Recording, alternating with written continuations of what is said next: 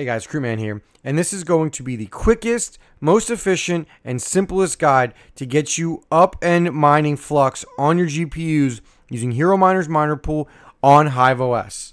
The only assumption this guide makes is that you are familiar with Hive OS and you already have it installed on your GPU mining rigs. So the first thing you're going to want to do is you're going to go to Flux's website, runflux.io. I'll have a link down below.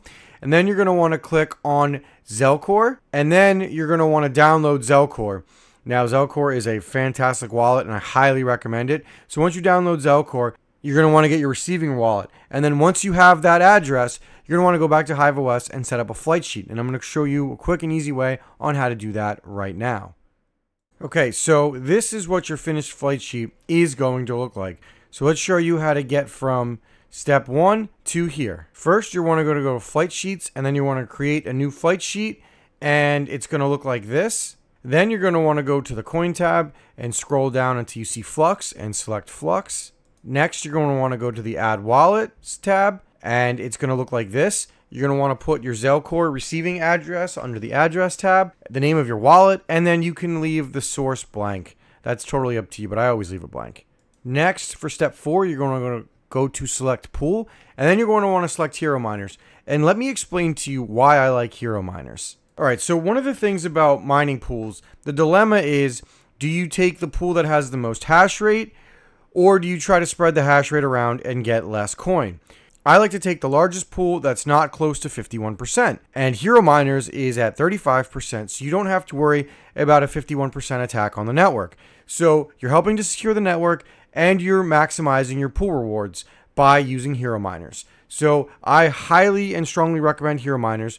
Now, I do have to tell you that they are sponsoring this video, but it's clear as day why you should use them. They are the largest pool on the network and they are not close to a 51% attack. So you they also have an incredibly easy interface to use and when you go on their website flux.herominers.com. Everything is laid out how to get started. It shows you what stratum you need to pick and it shows you exactly what you need to do to get going. And then all you have to do is enter your mining address right here and you're good to go. And one of the things I really, really like about this is it will show you how much you've mined that day, how much you were projected to mine the next week, month, and year. And it will show you what you mined the day before as well. So it does give you very good and accurate statistics. And another thing I like is you can enter your email address if you choose to. This is totally optional. And if any of your rigs go down, Hero Miners will shoot you an email. When you're on the website, you're going to want to look at the stratum that is best for you. And for me, it's USA East. So when I go to pool and I select Hero Miners, I will pick US East because, like I said, that's the best one for me. Then after you select your pool, you're going to want to go to your miner. Now for NVIDIA, Mini Z is the best. So I recommend using Mini Z and it's also a very good one for AMD as well. So you're going to want to select Mini Z. Okay, and then you're going to want to click on extra config parameters and you're going to want to make sure all the red boxes are highlighted. If on your extra config parameters, any of these three boxes look different than what you have here, go ahead and make sure they match this. For the hash rate algorithm, you're just going to pick 125, comma 4, and then if on the under the wallet and worker template and the pool server, if they don't say what says on here, you're just going to want to go ahead and type it out exactly like that, and you're good to go. As far as the extra config parameters, it really doesn't matter. You can just leave that there. I looked up what that did and I never found it in the miner. I just left it and it didn't affect anything. So you can either delete it or keep it. It's totally up to you. And finally, let's talk quickly about overclocks. So the quick and dirty on Flux, and I'm just going to go with a 3070 because 30 series are by far the most used mining GPUs right now, is I went for more efficient clocks as I think efficiency is more important right now. And even in the bull run, I think efficiency is the most important. So I used a 270 core offset, I used a 1470 core lock, and then I used a 5001 memory lock. And I got 61.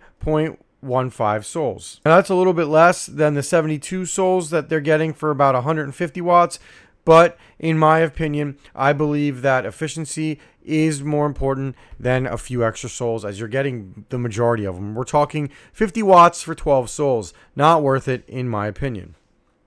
So let's show you how this thing is actually mining on my 3070 test bench using these overclocks. Here's an RTX 3070 on my test air bench mining flux. You can see we've got the PMD on just the GPU, just so you guys can see the accurate power. And then you've got the test rig right over here. And you can see we're getting about 61 sols.